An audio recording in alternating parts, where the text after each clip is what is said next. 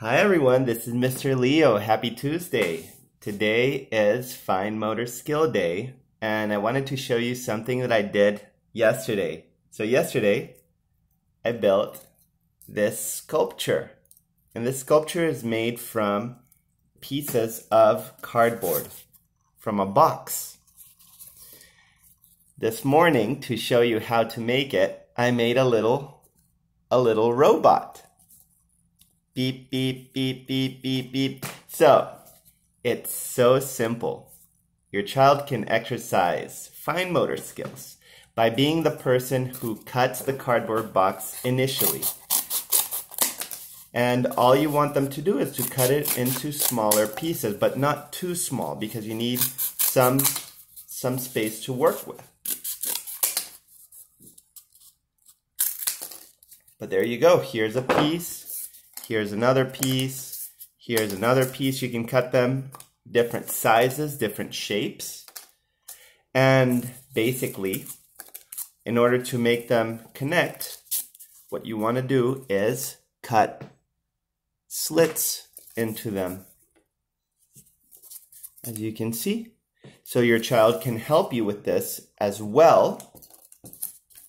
And you can do it on on either side of each piece, but when the piece is this small, you only want to do it on one side.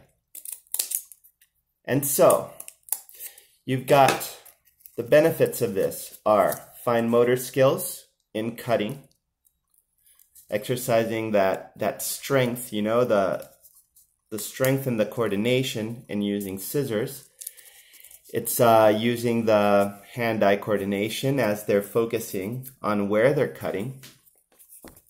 It's also using um, creative skills by building something with it. And it's using fine motor skills. It's using hand-eye coordination uh, in the actual building when they're trying to lock these pieces together. So they have to pay attention to it and look look at where they're locking and then they can succeed in their task. See? Oops. And there you can start to build something big just with and all you need all you need is uh, scissors and a box Okay, I hope you enjoyed the activity. That's all for today. I wish you all well. Much love. Hope you're staying healthy. See you next time. Goodbye.